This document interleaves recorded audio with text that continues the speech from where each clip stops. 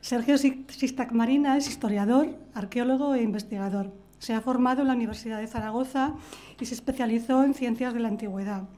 Ha realizado diversos trabajos académicos, siempre centrados en la historia del Antiguo Oriente. Además, ha colaborado en varios proyectos arqueológicos realizados en Aragón. A su vez, es miembro del Instituto de Estudios del Antiguo, del Antiguo Egipto. Desde 2015 ha participado en las excavaciones arqueológicas que esta institución lleva a cabo anualmente en la tumba número 28 de la necrópolis de, de Asasif, Lusor, en el marco del proyecto Visir Amenhotep Uy. No sé si lo he dicho bien. Uy, sí, pero es complicado. Vale. Actualmente continúa su formación como investigador y egiptólogo mediante la realización de su tesis doctoral, que se la dirige en la Universidad de Málaga, porque imagino que en Zaragoza no habrá departamento de egiptología. Y como lo que queremos es escuchar a Sergio, tienes la palabra.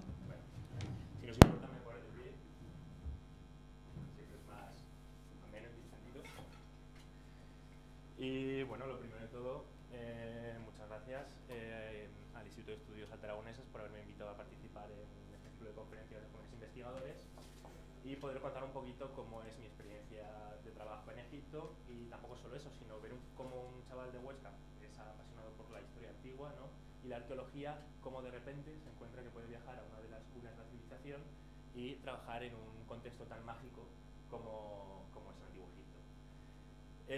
como han dicho, me llamo Sergio Sistar y soy un joven nacido y criado aquí en Huesca, que desde muy pequeño pues, he sentido digamos, atracción por todo aquello relacionado con el ámbito de la historia. Eh, por así decirlo, recuerdo que desde bien pequeño me gustaban las películas basadas en hechos o personajes históricos, o leer novelas sobre todo históricas, aventura, intriga, y por qué no decirlo, pues siendo de la generación que soy, del 92, también desde muy pequeño he podido jugar a videojuegos, ¿no? que estaban ambientados en épocas históricas y me permitían un poco, eh, digamos, imbuirme en estos periodos y vivir aventuras en la piel de otros personajes, eh, como puede ser te puede suceder en película o leer un libro.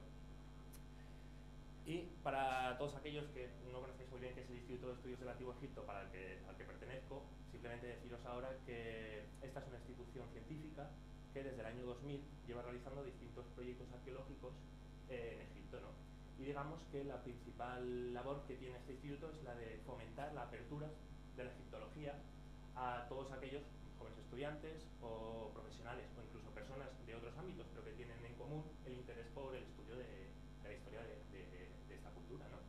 Y esto lo consiguen con la organización de distintos cursos de historia de Egipto a todos los niveles, de cursos de iniciación a la escritura jeroglífica, eh, distintas exposiciones, visitas guiadas a museos, etcétera. Pero vamos, digamos por lo que más se conoce también este, eh, a, este, a esta institución es porque desde el año 2009 llevan a cabo el proyecto arqueológico Visita a Menhotep Huy. ¿Qué consiste este proyecto? Pues eh, se encarga de la excavación y restauración de una tumba de, de la necrópolis tebana, en Luxor, ¿no? de, perteneciente a un importante visir de la dinastía 18, ¿no? del faraón Amenhotep III. ¿Y por qué es importante esta tumba? Pues resulta que los hallazgos nos están permitiendo no solo mm, saber qué pasó en aquel periodo concreto de la historia de Egipto, ¿no? muy interesante, sino que además nos permiten, los hallazgos que encontramos, permiten conocer mm, mucho más acerca de cómo era su mentalidad religiosa, los antiguos egipcios, y cómo actuaban, digamos, con respecto a sus creencias sobre el más allá y la muerte, ya que tenemos constancia de que en esa tumba ha habido actividad ritual funeraria desde eh, época de este visir, estaríamos hablando de un 1350 a.C., hasta muchos siglos atrás, ¿no? que nos iríamos hasta época grecorromana, siglo II, siglo III después de Cristo. Entonces, un poco mi objetivo hoy ¿no? es que pasemos un rato agradable sobre todo y que hagamos un poco pues como un chaval aquí de Huesca eh, acaba, digamos, mm, trabajando en un proyecto de esta envergadura en Egipto y viendo también, ¿por qué no?, cuáles son las particularidades de trabajar en y aprender un poquito acerca de la historia de, de estos, digamos, de esta antigua civilización, ¿no?, como sobre todo desde el punto de vista más mmm, del mundo funerario. Y también me gustaría contaros ciertas cosas que es verdad que no se ven si no estás dentro de una excavación, ¿no?, como puede ser eh, qué hacemos fuera del yacimiento, no todo va a ser excavar. Eh, y para empezar, sí que me gustaría dedicar unos pequeños minutos a contaros un poco quién soy. ¿no? Yo, como he dicho, nací aquí en Huesca eh, y desde joven quería, mm, bueno, más joven, quería mm, ser arqueólogo. Entonces instituto, aquí en Ramón y Cajal, y me informé qué era lo que tenía que hacer para ser arqueólogo. Entonces, eh, hablando con un profesor de la Universidad de Zaragoza, que tuve suerte de conocer, me dijo que me metiese a la carrera de historia, pues todo arqueólogo tiene que saber interpretar lo que excava ¿no? y saber qué es lo que está haciendo, y que desde un primer momento sí que cursase las asignaturas de arqueología y eh, desde el primer verano intentase ya acudir a una excavación para ver cómo era eso de trabajar como arqueólogo. Le hice caso y ya en 2011 pude participar ese mismo verano en un yacimiento romano en Bilbis, en Calatayud, y comprobé de primera mano qué era el trabajo de arqueólogo. La verdad que me encantó y tuve claro que quería dedicarme a eso. Entonces a partir de ese verano ya, siempre que pude, intenté trabajar en otros yacimientos ¿no? de distintas épocas, también he trabajado en, yacimientos de época medieval, porque de todo yacimiento y de toda excavación se aprende algo nuevo. No es lo mismo excavar en un yacimiento eh, prehistórico que por ejemplo en uno de época islámica. ¿Qué sucede? Pues que en 2014, tras cuatro años de carrera, digamos que se acaba el suelo ¿no? debajo de los pies y tienes que tomar una decisión. Y yo vi que lo que más me interesaba, a raíz de la elaboración del trabajo final de grado, era eh, dedicarme a la investigación. Disfruté un montón con la elaboración de este trabajo y opté por hacer el máster de ciencias de la antigüedad en la Universidad de Zaragoza, que tenía la opción de coger asignaturas tanto de historia antigua como de arqueología. Y más de lo mismo, con lo que más disfruté en el máster fue con la elaboración del trabajo final de máster. ¿no? Además, cogí un tema así un poquito mm, no muy común, porque era algo no muy controlado por los profesores de la universidad, y eh, estudiamos el tema de cómo eran las ciudades supuestamente fundadas por Alejandro Magno en su campaña de conquista del Oriente, si había restos arqueológicos descubiertos, y la verdad es que, aparte que disfruté mucho con la elaboración de este trabajo, tuvo buenos resultados, con lo cual, digamos ya que iba enfocado un poquito al mundo oriental. Y a la vez que estaba realizando este máster, un día encontré un anuncio en una página de Facebook, de estas que estamos metidos historiadores o, arqueólogos profesionales, ¿no? que anuncian eh, convocatorias para excavaciones. Y resulta que encontré esta de una escuela de campo para trabajar en un yacimiento en Egipto. ¿no? Buscaban 10 estudiantes para ir a Egipto a formarse en egiptología. Yo en un primer momento pensé, no me van a coger, porque cogerán a gente con un currículum excepcional y seguramente no pasen ni la primera criba. Lo eché porque nunca se pierde nada, ¿no? Y pasé la primera preselección. Por lo tanto ya digo, bueno, pues nada, habrá mucha gente, vamos a ver cómo va esto. Hice una entrevista por vía Skype, me acuerdo, salí contento de la entrevista y a los dos o tres días me dijeron que me cogían, que me marchaba para ahí. O sea que es verdad que teníamos que eh, pagarnos ciertos gastos ¿no? los primeros años, entonces también es un esfuerzo económico, hay que pensárselo. Pero no me arrepiento para nada, tuve la oportunidad de viajar a Egipto y he de decir que la escuela de campo, eh, si la excavación dura tres meses, ese año eran mes y medio un turno de estudiantes y el segundo mes y medio otro turno. Entonces yo fui el primer turno. Mm, me encantó todo lo relacionado con excavar en ese país, no solo ya las, las maneras, porque cambian, que es muy distinto trabajar ahí que trabajar en otros, ¿no? Además, la cantidad de materiales y el tipo de materiales que es para mí la desconocido hasta, ese momento y eh, la verdad es que me gustó muchísimo. Y ya teniendo la suerte de poder seguir repitiendo, ya en 2016 como miembro del equipo, estando toda la campaña, y en 2017 lo mismo, ¿no? Y además, dentro de unos cuantos días marcharemos por cuarto año a, a volver a participar en el proyecto, o sea que estamos ya en nada. ¿Y cuál es mi situación actual? Eh, deciros que, pues bueno, ahora mismo me encuentro también en que acabo de empezar la tesis doctoral, como bien han dicho, Julia, y pues bueno, me he enfocado todo mi bagaje de historia antigua y mundo helenístico para estudiar este periodo de la historia en Egipto, ¿no? El periodo tolemaico en Egipto que iría desde la conquista de Alejandro Magno del territorio de Egipto a los persas hasta la caída de la última gran faraona de la dinastía tolemaica que sería la famosa Cleopatra VII, ¿no? La, Cleopatra de Marco Antonio y, y Julio César. Pues bien, una vez que ya conocéis un poquito más acerca de quién soy y cómo he llegado hasta aquí, eh, vamos a meternos ya un poquito en, en harina. ¿no? Eh, como he dicho, el proyecto Visira Hotep no se encarga solo de la excavación de un yacimiento, sino que es un proyecto integral, en el cual se trata de excavar, evidentemente, eh, la tumba, ¿no? para ver qué tipo de, de restos arqueológicos nos encontramos, pero también de la restauración y la puesta a valor del monumento, de manera que no perdamos dato que este pueda aportarnos y eh, este monumento se pueda poner en valor para que todo aquel que en un futuro desea, eh, desee visitarlo o ir a estudiarlo en vivo pueda hacerlo. ¿Vale? Eh, un proyecto de estas envergaduras implica también que el equipo sea muy grande. Por lo tanto, el equipo que trabajamos ahí es un equipo interdisciplinar en el cual vamos eh, desde estudiantes a profesionales mmm, dedicados a distintos campos, desde arqueólogos, restauradores, antropólogos, ceramólogos. Digamos que el equipo que viaja, por así decirlo, extranjero, ¿no? españoles, aunque también hay estudiantes de, de algún otro país, que viaja a Egipto, somos entre 35 o 40 cada año. A todo esto hay que sumarle un equipo de profesionales egipcios que trabajan codo con codo con nosotros allí, que, que ellos son de ahí, de Luxor, y eh, trabajan en distintas excavaciones a lo largo del año. Entonces, cuando vamos nosotros, hay unos equipos que vienen con nosotros, tanto de arqueólogos egipcios como, muy importante, una familia de restauradores, que son los que se encargan de, eh, llevar a cabo la restauración y el levantamiento de las columnas, que luego veremos, que estaban dentro de la capilla del visir. Ellos conocen muy bien, mucho mejor que nosotros, los materiales con los que ahí, allí abundan, entonces la verdad es que tienen, digamos, un ojo y un dominio mucho mejor de la técnica. Y por si fuera poco, también hay un equipo de unos 20, 30 obreros cada año que se ocupan de las labores más, mm, digamos, menos agradecidas en la excavación, ¿no? pero que son igualmente necesarias, como puede ser el retirar los escombros o ayudar a cribar, etc. Entonces todo esto hace que seamos un grupo de unas 50, 60 personas día a día trabajando en la tumba. ¿no? Entonces somos uno de los equipos más grandes que hay hoy en día en la necrópolis tebana. Y atendiendo un poco al protagonista de verdad de este proyecto, que no es otro que la tumba del visir, es necesario para entender eh, en global este yacimiento que contextualicemos muy bien, tanto geográfica como históricamente.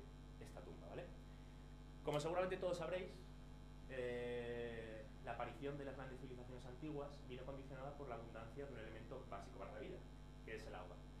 Es por ello que tanto la civilización egipcia como las civilizaciones mesopotámicas surgieron al amparo de los grandes ríos caudalosos de aquel momento, ¿no? como eran el Nilo, el Tigris y el Éufrates. Pues bien, si vemos esta imagen, eh, entendemos muy bien la importancia que tenía este elemento natural como eje vertebrador del poblamiento en este territorio. Por ello que los primeros pobladores se asentaron en dos núcleos principales.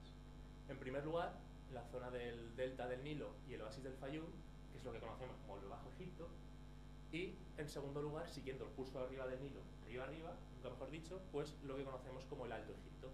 ¿no? En un momento las élites del Alto Egipto conquistarán a las del Bajo Egipto en el 3100 a.C. aproximadamente y se convertirá por primera vez en una única unidad política y territorial, bajo el mandato de un. A partir de este momento, digamos que se alternarán épocas de gran estabilidad política y unificación con pequeños momentos de crisis política en los cuales habrá pueblos extranjeros que invadirán el territorio o incluso sublevaciones internas, eh, siendo normalmente las élites del Alto Egipto las más un poco revolucionarias que se levantarán contra el poder centralizado del faraón. ¿vale? Esto lo, vemos, eh, lo tenemos muy en boga incluso en la actualidad en nuestro territorio. Entonces, Tebas, que es lo que nos interesa, sería la capital del antiguo Egipto, ¿no? tanto religiosa como constitucional, y a partir de la dinastía 18, que es en la cual se enmarca nuestra tumba, será la capital oficial de todo el, de todo el territorio de Egipto. ¿no?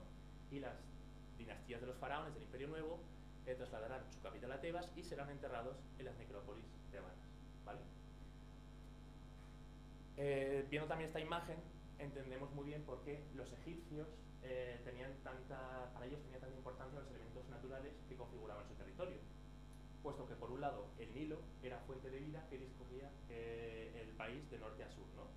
Y por otro lado, el sol, que salía por el este y se ponía por el oeste para volver a nacer al día siguiente, también era fuente de vida, puesto que permitía que las cosechas año tras año floreciesen y hubiese comida.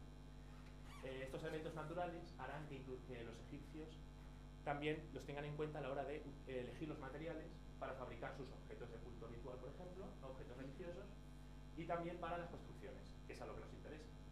Es por ello que las necrópolis egipcias normalmente, casi la mayor parte de las veces, se localizan en la orilla occidental del Nilo. ¿no? ¿Por qué? Porque hemos dicho que el sol nace por el este y va a morir por el oeste. Por lo tanto, el oeste es la zona de los muertos. ¿vale? Ehm, además, la arquitectura egipcia se va a caracterizar por buscar siempre dos cosas la grandiosidad y el sentido de la eternidad. ¿Y con qué material creéis que se consigue esto en los edificios? Con la piedra, evidentemente. Es por ello que la piedra va a ser el, elemento constructivo con el cual se van a construir los grandes templos y monumentos funerarios, mientras que otro material que se ve mucho en los yacimientos egipcios, que es el adobe, el adobe es básicamente ladrillos de barro y paja secados al sol. ¿no? También se utilizaba mucho en las construcciones, pero se lo van a reservar para, digamos, el ámbito doméstico, para las casas o estructuras secundarias de los grandes templos o de las grandes tumbas. Si bien no siempre ha sido así, puesto que, hay que decir, los faraones de la primera y segunda dinastía, los primeros faraones de Egipto, se enterraban en las famosas mastabas egipcias, ¿no? que eran enterramientos fabricados con ladrillos de adobe. Básicamente mmm, se constituían de un gran pozo subterráneo que llevaba la cámara funeraria del faraón ¿no? y una serie de cámaras secundarias subsidiarias donde estaba eh, el ajuar eh, funerario ¿no? del personaje. A esta subestructura se le superponía otra estructura hecha con ladrillos adobe. Y esto será así hasta la llegada al trono del faraón Dieser o Zoser, ¿no? en la dinastía tercera, el cual será el primero que declinará enterrarse en mástabas hechas de ladrillos adobe para pasar a construir la primera gran pirámide de la historia de Egipto, que es la que conocemos como la pirámide escalonada de Saqqara. ¿vale? Para conseguir tamaño monumento era evidentemente necesario hacerlo con bloques, grandes bloques pétreos. ¿no? Y tengamos en cuenta que este, esta pirámide alcanza los 60 metros de altura, desde la punta hasta su base. Mm, y también a partir de este momento, eh, las pirámides eran un ejemplo del poder que ha tenido en vida el faraón. Cuanto más grande y más perfecta sea la pirámide, eh, mayor poder ha tenido ese faraón en vida. Y para entender muy bien esto hay que eh, saber un poquito cuál era la concepción que tenían los egipcios de la realeza, del faraón. Para ellos el faraón era un dios en la tierra. Por lo tanto, era el intermediario entre los hombres y los dioses, seres humanos y los dioses.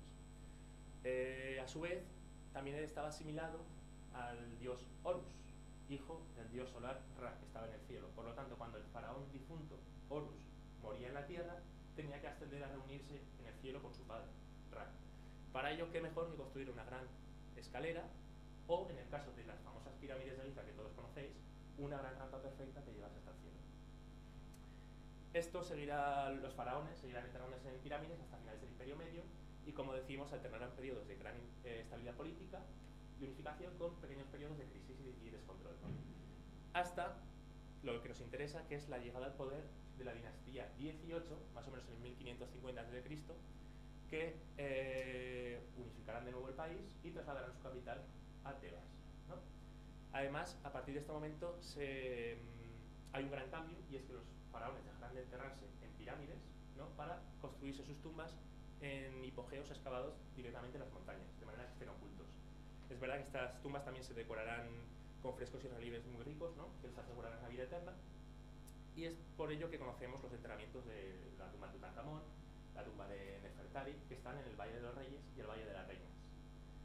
Y no solo los faraones se enterrarán en tumbas excavadas en la roca, en, montaña, en la montaña, sino que también los principales miembros de la administración faraónica, tanto de la burocracia como del clero, eh, decidirán construirse sus tumbas de, igual forma en un valle anexo al Valle de los Reyes y el Valle de las Reinas, en Luxor, ¿no?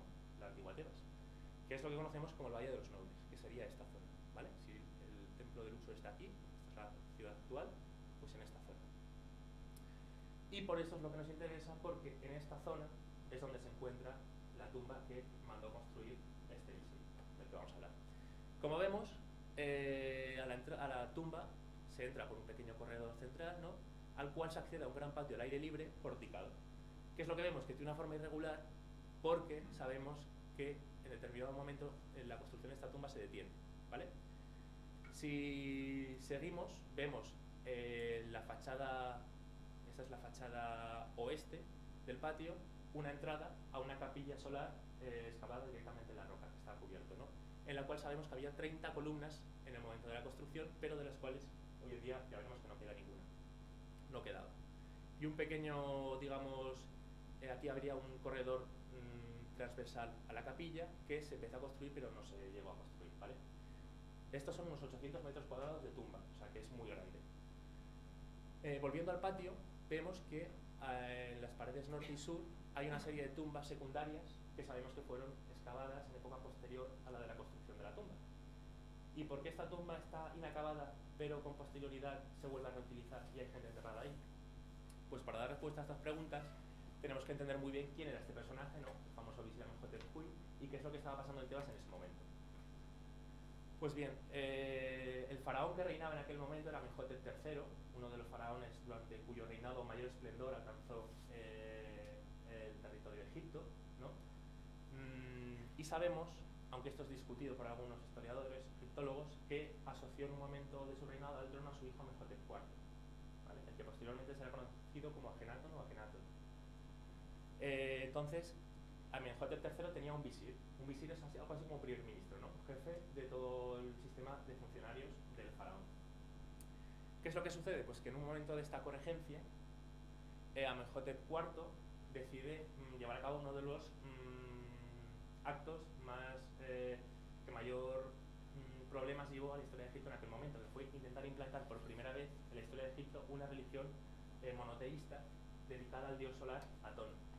¿vale? Algo que iba contra los paradigmas de todo lo que había habido hasta entonces, porque la religión egipcia era tradicionalmente una religión de muchos dioses, a los cuales había que ser todos contentos y cada uno tenía su expresión en la tierra. ¿no? Eh, por lo tanto, uno de los defensores de la religión tradicional, sobre todo de la religión del dios Amón, que era el dios tutelar de la ciudad de Tebas, fue nuestro visir. Entonces sabemos que en un momento, mm, gracias a las excavaciones, no sabemos, ¿eh? en un momento mm, de la construcción de la tumba, repentinamente los trabajos se paran. Los obreros huyen de ahí y al poco tiempo llegan, intuimos que seguidores de Amenhotep IV, ¿no? que había cambiado su nombre a Genatón, el espíritu luminoso de Atón, para eh, destruir todos los relieves en los cuales apareciese la cara del, visir, las manos del visir o el nombre del visir. Digamos para borrar su existencia y que éste no pudiese mm, resucitar y vivir en el más allá. Algo parecido a que hacían los emperadores romanos con la Damnatio Memoria. Em, llega un momento que tras haber muerto Amenhotep IV eh, se restituye digamos, la religión tradicional paulatinamente con su hijo Tutankamón, poco a poco, y los altos funcionarios de, Tebas, sobre todo los miembros del alto clero de Amón, de Tebas, eh, deciden venir a la tumba, construirse sus tumbas ellos mismos para enterrarse así como un símbolo de, honor, estar en un lugar de un personaje que había defendido su religión a, a entonces, muy bien contextualizado ya lo que es la tumba, ¿no? podemos ya pasar a ver cuáles son un poquito los trabajos que se han realizado eh, y entender un poquito cuáles son los, hallazgos más comunes que nos encontramos en Egipto en una necrópolis, ¿no? que la verdad es que hacen que en parte sea eh, excavar ahí sea algo único y espectacular.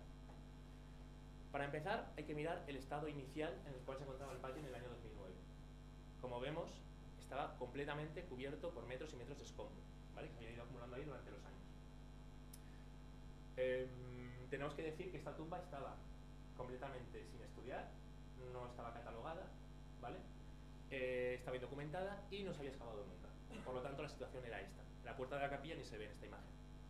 Entonces, una vez se pudo acceder al interior de la capilla, nos encontramos con que eh, esta también estaba llena de escombros, de basura incluso, ¿no? Vemos aquí botellas, y, y que había claros signos de que, había, de que estaba en unas condiciones ruinosas.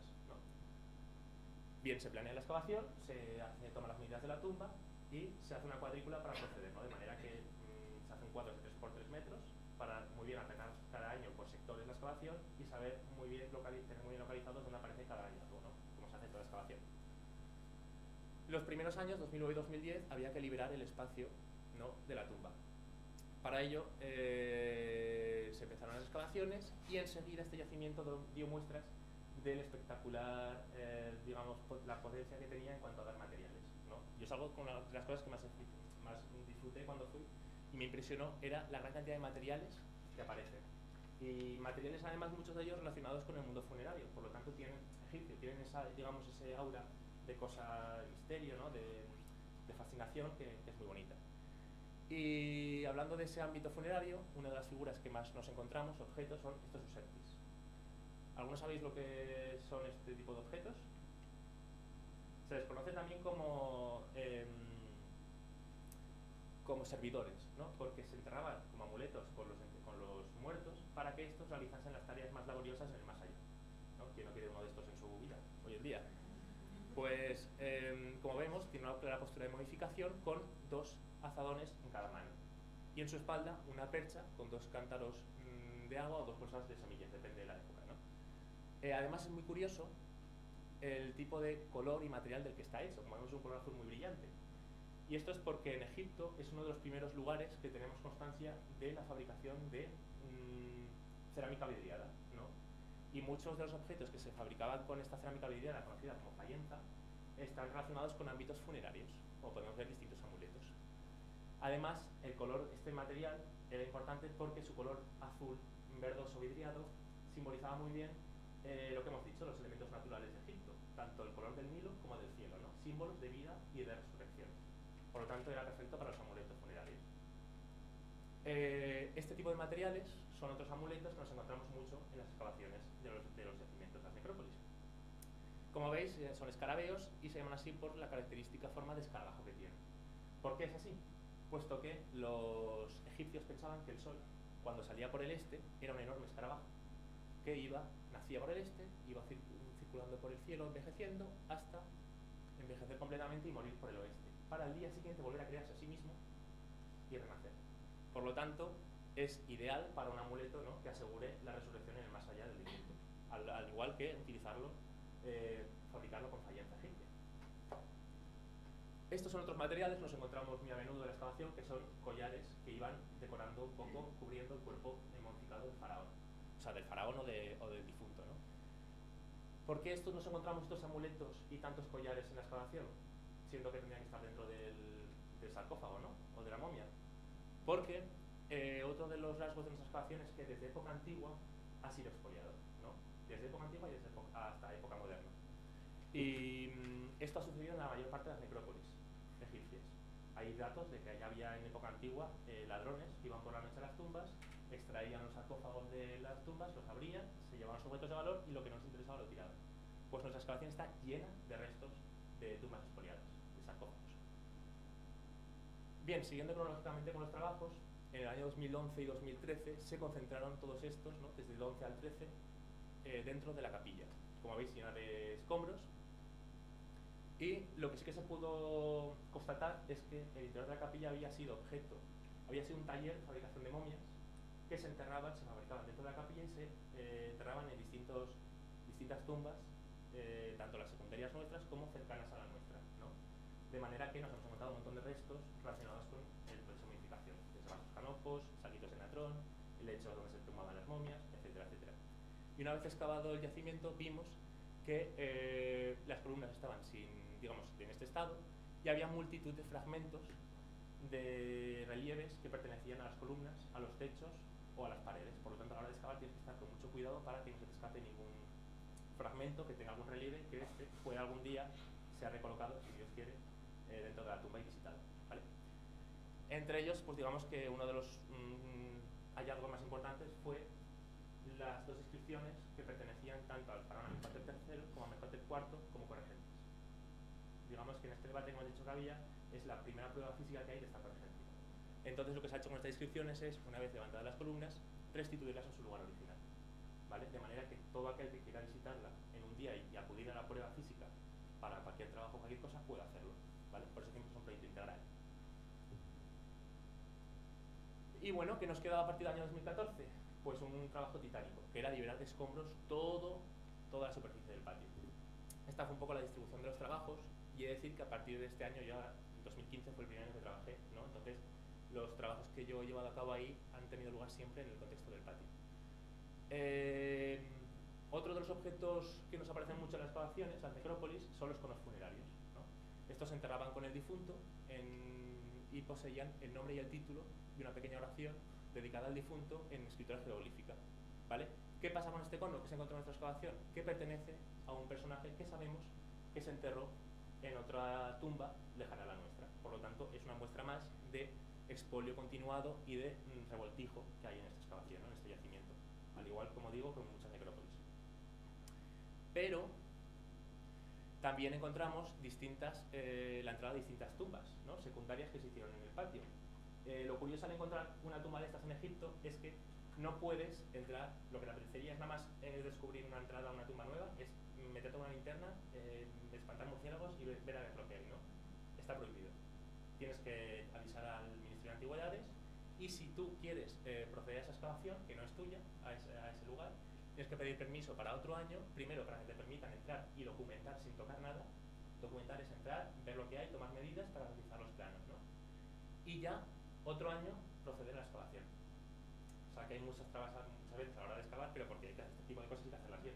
Porque si no, todos nos meteríamos en un primer momento a saber qué nos pasaba, nos podríamos caer por algún pozo o algo y, la liábamos.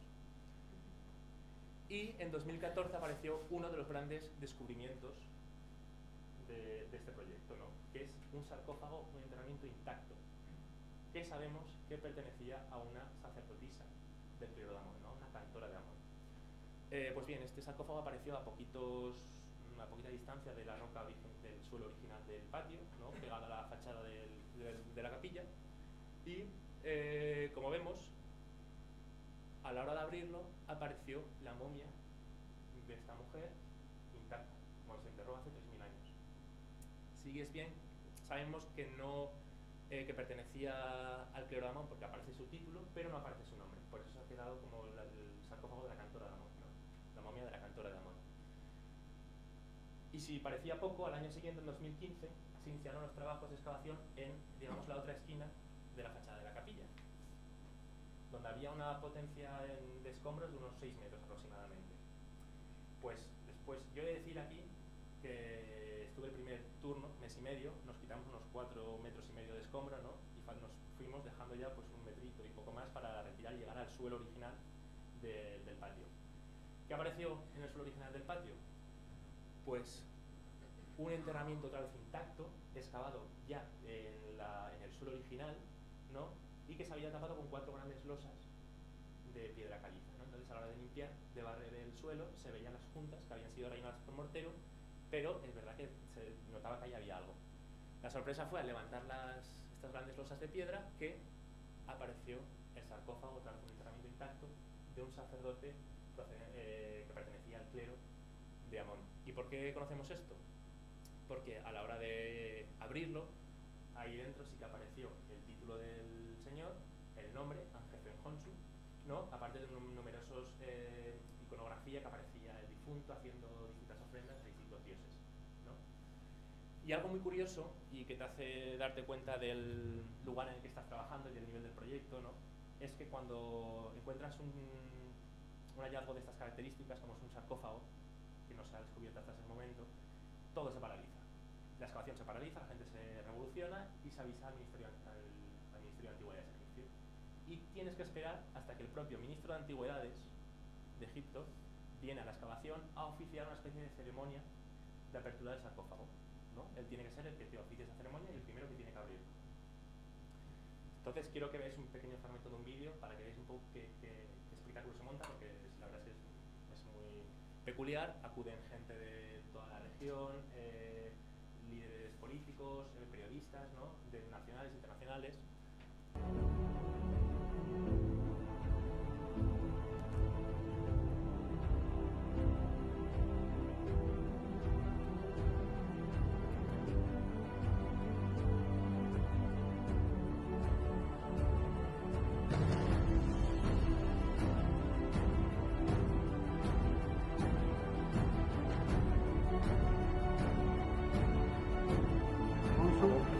personas who the victims of human in Karma, the normal title of this time. He, his beauty was uh, inscribed in the divine offerings to Amun in Karnataka.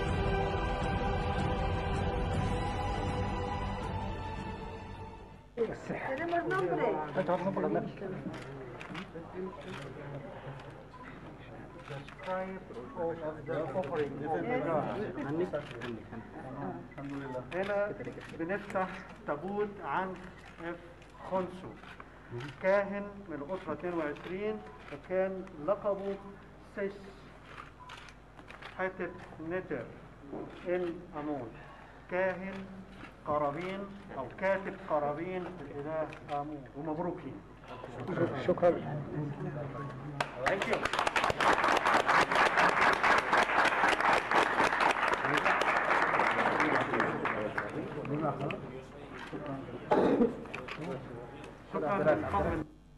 Bueno, entonces, tras dos hallazgos de este calibre, digamos que los dos últimos años, 2016 y 2017, lo que quedaba era acabar la excavación de la segunda mitad del patio, ¿no? que es lo que hemos hecho en los últimos años, y pues digamos que ha parecido más de lo mismo. Mucho resto de espolio, ¿no? distintos, desde cerámica, un montón de amuletos, cuentas de collares, eh, máscaras de sarcófago, orejas muchísimas cosas. Y lo que sobre todo se ha demostrado es que ha habido ocupación de la tumba para distintos trabajos eh, hasta incluso época mm, grecorromana. ¿no? Por ejemplo, han aparecido estos dos hallazgos. Una clara llave romana, que seguramente se utilizaría para eh, abrir alguna de las puertas de las tumbas mm, adyacentes de ahí. Y eh, una moneda que, como vemos, tiene la efigie de Vespasiano, ¿no? emperador de, fundador de la dinastía Flavia. Y esto es muy curioso porque los emperadores romanos eh, llegaron a controlar gran territorio, como todos sabemos. ¿no? Eh, cuando Egipto era provincia de Roma, ellos emitían moneda ahí para hacer, digamos, que decir que somos vuestros emperadores, ¿no?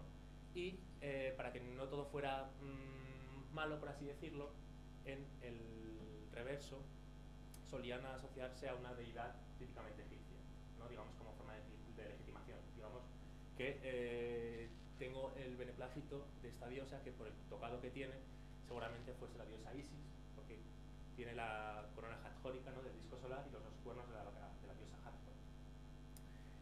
Y también un hallazgo muy bonito que nos apareció ya justo eh, también en, en, el suelo original de la, del patio fue el de un par de mazas de cantero.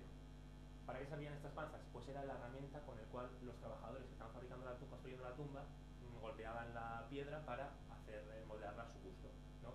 Entonces estas aparecieron en un nivel ya que estaba intacto, sin expolio, justo eh, por encima de la roca original. ¿Qué nos dice esto? Pues que en un momento concreto huyeron de ahí, dejaron los eh, aparejos donde se quedaron, ¿no? en el sitio que estaban y no volvieron. Entonces, digamos, cuando encuentras un objeto así en estas circunstancias, ocurre como que si viajas en una máquina del tiempo y contactas con esa persona que mm, no conoces de nada, pero que ha estado realizando el mismo trabajo que tú, parecido, en un mismo lugar, eso sí te sacarán 3.000 años. Pero la verdad es que la sensación que tienes ahora de descubrir esto, a los que nos dedicamos al estudio de la historia o, o a la arqueología y nos dedicamos a saber qué pasó a este tipo de gentes, es mm, impresionante. Y ya para ir acabando, eh, una de, las, de los trabajos que se realizó este año, último, en 2017, fue la excavación íntegra de una de las tumbas secundarias, ¿no? que es esta que tenemos aquí, que se había localizado la entrada en el año 2010, se había documentado en el año 2014 y este año se habían, último se habían conseguido los permisos para excavarla. Eh, como vemos, está a una altura mmm, superior al del resto de tumbas secundarias, por lo tanto nos indica que esta es más moderna. Sabemos por la tipología y por los mm, objetos que han aparecido cerca y dentro de la tumba que sería de época grecorromana, ¿no? seguramente cercana a Cristo. Eh, sin duda es una de las experiencias más espectaculares que he tenido como arqueólogo el poder trabajar en una tumba egipcia eh, teniéndote que arrastrar, digamos, por la primera cámara. Bueno, os explico. La tumba se compone de dos cámaras que están a nivel de la puerta, ¿no? Primera y segunda, un pozo de unos 5 metros, 5 metros y medio, muy estrechito, de forma eh, de cuadrado, y accedes por él a una tercera cámara que, como digo, está a unos 5 metros y medio, 6 metros por debajo de, del nivel original del suelo de esta tumba. Entonces, pues eso, para acceder teníamos que pasar arrastrándonos, eh, los trabajos aquí son muy laboriosos porque estás levantando tierra, eh, casi no hay eh, aire, aireación, ¿no? Entonces te comes, hay polvo en suspensión y es, es difícil. Pero bueno, para acceder al, a, por el pozo a la tercera cámara, tuvimos que entrar dos escaleras de madera pequeñas, porque una entera no cabía para poder girarlas, bajarlas abajo de una en una, montarlas a pulso abajo, bueno, eso lo hacían, nos ayudaban los obreros que están ahí, la verdad que están fuertes. Eh, ¿no? Entonces tenías que bajar por escaleras de madera, colocar aquí dos vigas para poner una polea así improvisada con una cuerda y poder con un capazo mm, bajar el material y subir el escombro. ¿vale? Eh, además, me acuerdo que abajo tuvimos la suerte de estar únicamente, solo cabíamos dos, estábamos mi compañero Alberto y yo, y una vez vacían escombros, la tercera cámara medía 1,40 de altura. Con escombros, pues restale, restale bastante. Teníamos que estar en unas posturas incomodísimas trabajando, eh, con un calor que te mueres ahí, porque claro, 5 metros sin aireación, pues, sin ventilación, ahí hacía muchísimo calor. Eh, nos bajaron un tablón con una bombilla así incrustada un poco de malas maneras, con un cable que se subía por el pozo hasta el, generador eléctrico de, la tumba, de la Acrópolis. Y lo que pasa en Egipto es que si de por sí ya se va la luz muchas veces en la ciudad, en la necrópolis ya ni te cuento. Entonces nos encontramos más de una vez que de repente nos quedamos a oscuras, simplemente alguna linterna que llevábamos ahí pequeñita en el bolsillo, pues rodeado de, cuerpos humificados que había sido expoliada esa tumba en época antigua, entonces los teníamos alrededor. Y es, es curioso la, la imagen, ¿no? Pero la, como os digo, es una de las cosas que Egipto te puede dar, ¿no? Trabajar en, en, una tumba egipcia antigua y estar tú metido como si fuera en una excavación del siglo XIX, principio del siglo XX. Y la verdad es que nos lo pasamos como niños pequeños, como nos podéis ver. Y bueno, uno de los hallazgos también más importantes que apareció en la excavación y que tuvo, por suerte, apareció en este, dentro de esta tumba, la primera cámara, es este anillo metálico que vemos aquí, ¿no? con la imagen de una mujer, una mujer con un peinado en tirabuzones, una especie de tocado encima de la cabeza, un collar típicamente egipcio, un pendiente y un mentón y nariz bastante prominentes. Pues bien, este, este, este tipo de anillos eh, se han conservado bastantes eh, pertenecientes a esta época y sabemos que se utilizaban para sellar documentos. probablemente perteneció a uno de los miembros de esta familia que se enterró aquí, que serían funcionarios de la, del sistema administrativo del faraón de aquel momento. ¿no? Eh, aquí tampoco os puedo contar mucho más porque estamos pendientes de, presentar los resultados. Está en estudio esta pieza, además como pertenece a la época en la que yo estoy estudiando, digamos que soy un poco encargado del estudio iconográfico de esta pieza y si bien, el año que viene lo presentaremos en un congreso oficial y bueno, simplemente deciros que el estudio iconográfico arroja muchos, muchas opciones de que la mujer aquí representada fuese una reina helenística y eh, pues si acotamos un poco por un aspecto iconográfico muy concreto y por el contexto de la tumba y de los otros hallazgos, puede ser que la mujer aquí que aparece en el anillo fuese Cleopatra VII pero es una hipótesis y aún está por elaborarse y presentarse. Y bueno, ya ahora sí que para acabar, poco hablaros de las peculiaridades que ya hemos contado algunas, ¿no? pero que tienes que en Egipto y que se hace un poco fuera de la excavación, ¿no? cuando no estamos ahí tragando polvo. Una de las cosas que más me impresionó y el primer año que fui es que trabajamos, como he dicho, con codo con codo con multitud de, de personas de allí, ¿no? profesionales egipcios, y en concreto, por ejemplo, con los obreros, ¿no? que en teoría se encargan en todos los yacimientos de realizar las tareas más laboriosas, como desescombrar, pero debido a la orografía de nuestra tumba, resulta más visto en las fotografías, es un, el patio está excavado directamente a la montaña, por lo tanto están muchos metros, hay muchos metros de profundidad. ¿no? Para sacar el escombro necesitamos, no hay otra forma, sobre todo en muchos sitios, que hacer una cadena humana para sacar con capazos, filas y filas de capazos, ¿no? para sacar el escombro de la terrena que la tenemos arriba, nos obligan a tenerla ahí. Por lo tanto, en lugar de dejar solo, solo todo ellos, también nos ponemos nosotros siempre y digamos se crea un, un clima de, buen rollo normalmente, pues ellos cantan sus canciones, nosotros cantamos las nuestras, nos, nos, intercalamos y la verdad es que esto hace que el día a día de la excavación sea mucho más ameno. Porque imaginaros mm, durante 10, 11 semanas trabajando juntos, pasando calor, pues muchas veces hay momentos de, pues, que no estás para mucha broma, pero esto también ayuda a que, a que se genere un clima de, de buen ambiente de trabajar. Por no mencionar el lugar idílico en el que estamos. Estamos trabajando en plena necrópolis tebana. Por ejemplo, nosotros, esto es al amanecer nada más llegar a la excavación. Llegamos a las 6 de la mañana ahí. ¿Y qué nos encontramos? Pues porque pues que el sol empieza a amanecer por la orilla este del Nilo, ¿no? empieza a iluminar toda la necrópolis y es cuando aprovechan unas empresas de turismo para hacer los vuelos de globo. Entonces, eh, de aquí al lado pegadito a necrópolis parten un montón de globos y como muchas veces estos elementos son incontrolables, eh, sobrevuelan las necrópolis y más de una vez hemos estado a punto de que nos aterriza aquí mismo. Entonces, es una imagen preciosa, con los globos y, y esto lo vemos prácticamente cada día. Por no decir también que trabajamos a cinco minutos del, del, gran templo funerario de la reina Hatshepsut, del Bahari, ¿no? que lo mismo, ver amanecer y cómo poco a poco el sol ilumina la fachada de este templo con la montaña detrás, eh, es una visión impresionante. Y bueno, pues fuera de la excavación, nosotros trabajamos seis días a la semana, de sábado a jueves, porque el viernes es el día oficial de festivo, ¿no? En la religión musulmana. Y por la mañana, de 6 de la mañana a una y media, dos del mediodía. ¿Qué hacemos por las tardes? Dormir, sobre todo. Pero no, también aprovechamos cuando podemos a dar un viajecito, por ejemplo, con una barca el Nilo arriba, Nilo abajo, ¿no? ver atardecer en el barco, eh, cruzar al centro de Luxor a ir a un paseo por el bazar, si nos apetece que nos digamos a un poco y nos, y nos hagan comprar cosas, o tomarnos simplemente un refresco ahí en una terracita pegadito al Nilo mientras anochece. También montamos en globo, eso es verdad, no solo los turistas montan en globo, nosotros también.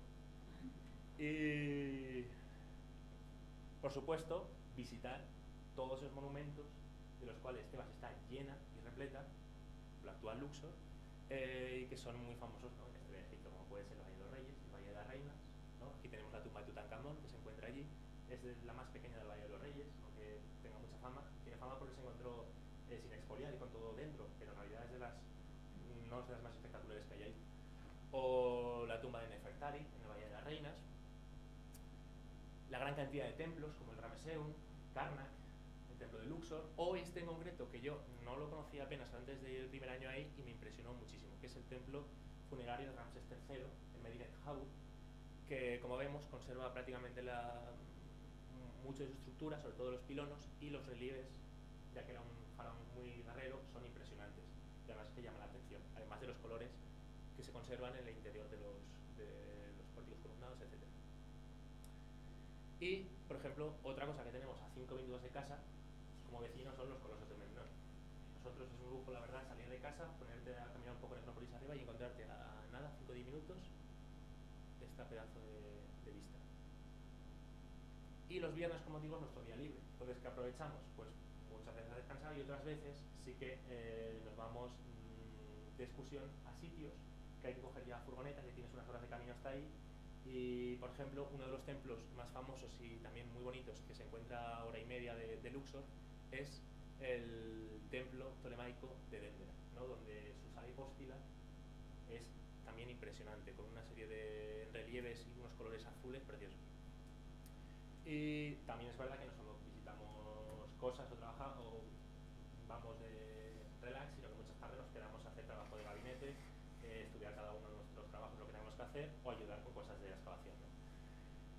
Y también tenemos un poco de espacio para la nocturnidad.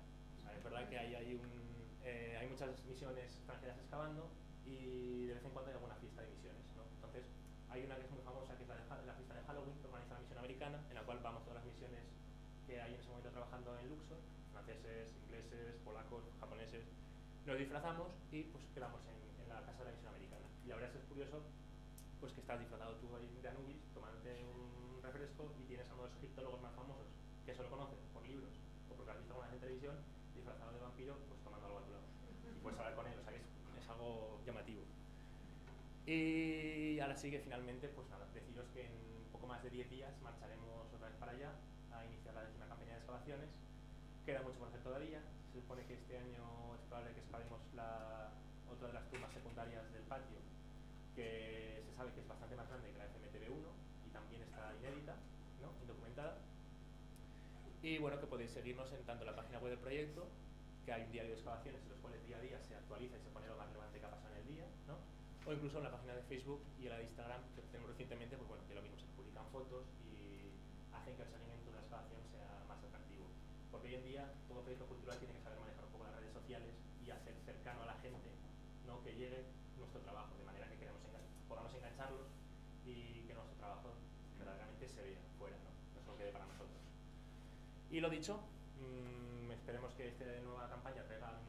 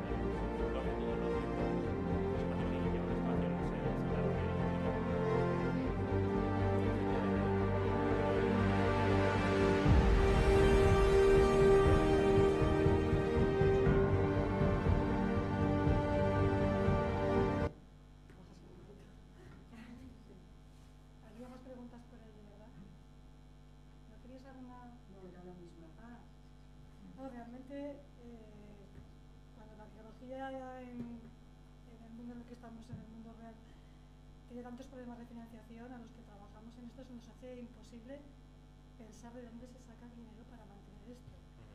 Eh, sigo sin entenderlo.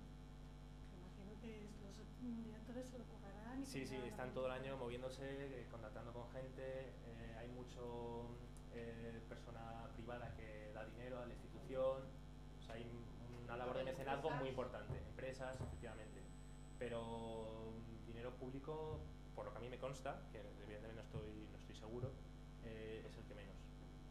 Oye, entonces, Egipto, ¿cómo concede eh, las excavaciones? Que sé que es una cosa compleja. Es una cosa muy compleja, sí. Tienes te- supongo yo que el que lo solicita tiene que tener un currículum y que lo conozcan los egipcios, Sí. porque de buenas a primeras eso no te lo concede. De buenas a primeras intentar eh, conseguir una excavación, la concesión de una excavación es muy complicado. Y esto pues llevan, como digo, desde el año 2000 trabajando en distintos proyectos ahí, entonces, digamos que ya conocen un poco la burocracia y saben nuestros directores cómo conseguir los permisos y, y si te conocen evidentemente y tienes contactos, eh, trabajas bien, porque ahí nosotros tenemos asociados a nuestra excavación inspectores del, del, Ministerio de Antigüedades que te asignan a las misiones extranjeras, digamos, para controlar un poco ¿no? el trabajo, que vayas no vayas más rápido de lo normal, que estés actuando de manera Que no se pierda nada. que no se pierda nada, efectivamente. Entonces, eh, eso, hay un control muy estricto y em, cada vez hay menos misiones extranjeras trabajando ahí en Egipto, porque están impulsando también mucho los, los profesionales de allí.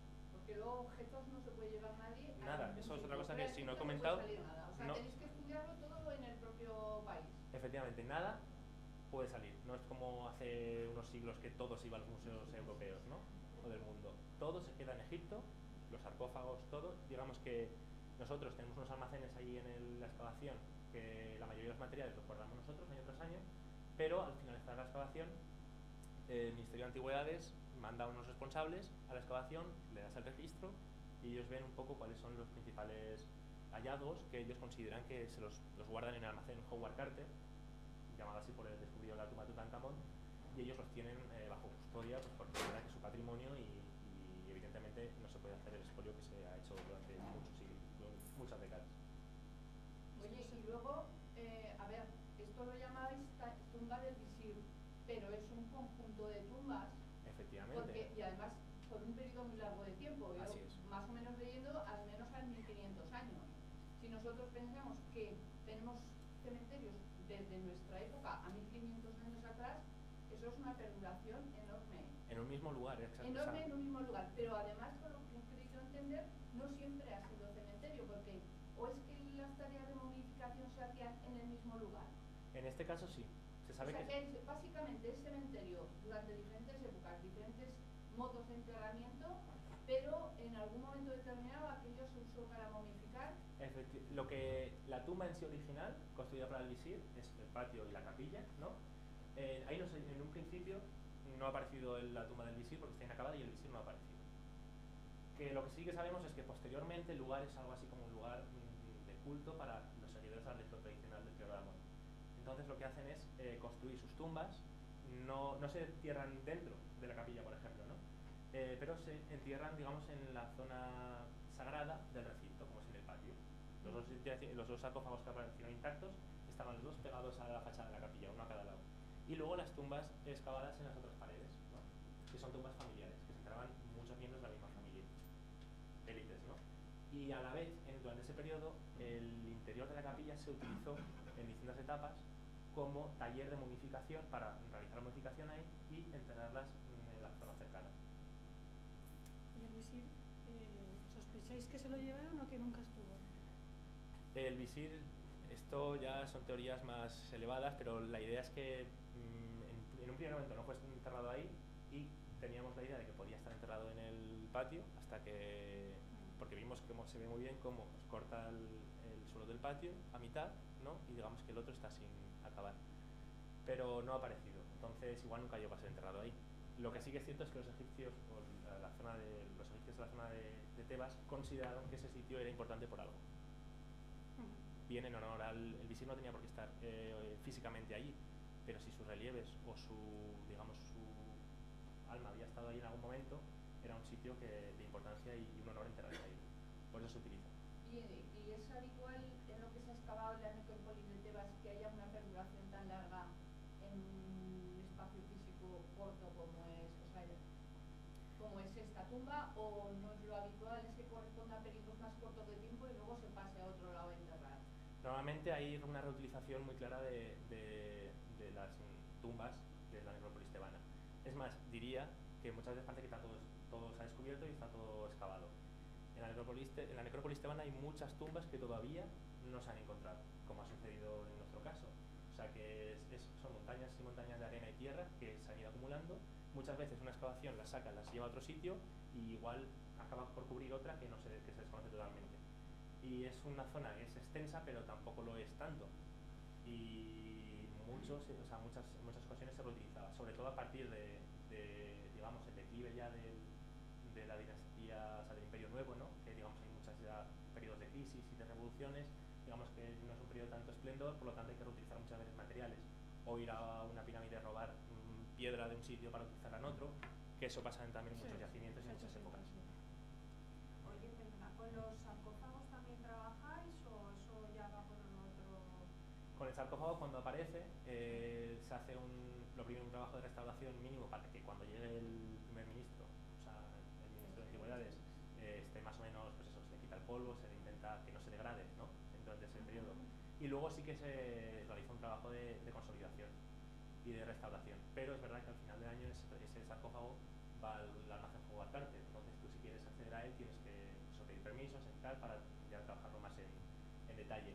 Y evidentemente nuestros directores, que Francisco Martí Manetín y Bedman, saben leer jeroglíficos y ellos son los que realizan tra- el trabajo de gabinete, por así decirlo, de investigación acerca de quién es ese personaje, los títulos que tiene y qué genealogías se puede entablar con los demás enterramientos que se han descubierto por la zona. ¿Vosotros no sabéis quién es vuestro Lord Carnarvon? Nuestro Lord Carnarvon yo no lo sé, pero hay. Y creo que lo que pasa es que hay muchos lores, yo creo, más que uno concreto. Y el David Carroas, que ha quedado después de la revolución olvidado. Sajid Hawat fue ministro de Antigüedades, pero eh, ahí no, ahí es un personaje muy conocido y siempre está, está es arqueólogo trabajando en sus propias misiones y la verdad es que ahí está en muy buena consideración y es, un, es un- una persona que la verdad es que hemos coincidido con él algunas veces por allí y, y lleva sus propias misiones, sigue realizando documentales, estudios, o sea que sigue, sigue, no es ministro, pero, pero sí, trabajando. ¿Hay actualmente alguna excavación de partículas? Sí, hay, hay unas cuantas, tanto en, en Egipto, así os diría que Carmen Pérez Ville lleva una en el Delta, ¿no? Eh, que no es la Acrópolis Magna, en la Universidad de Jaén lleva otra en, en la zona de el Jawa, que mete el Jawa, en cerca de Asuán. Mm, En la misma necrópolis nuestra eh, coincidimos con una misión de la Universidad de Granada, eh, que es la de mm, sí, la Universidad de Granada, que también lleva españoles. Y en la necrópolis también hay más, alguna misión española más, pero que excavan en